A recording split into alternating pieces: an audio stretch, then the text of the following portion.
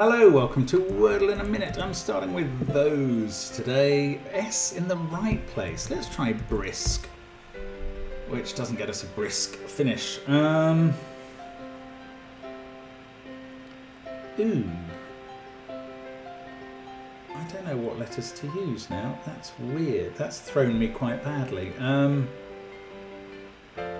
what does it end in, for instance? Another S, a miss. I'm gonna try that. It's got a chance. It's right. That's why it's got a chance. Not a miss today. Not a yellow cell. All green. That was quite difficult, but I'm pleased. So many letters had been ruled out, especially by the those starting word, that it was very hard to come up with an ending letter that would actually work.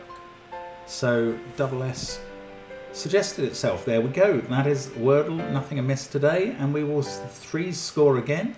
See you again tomorrow. Bye for now.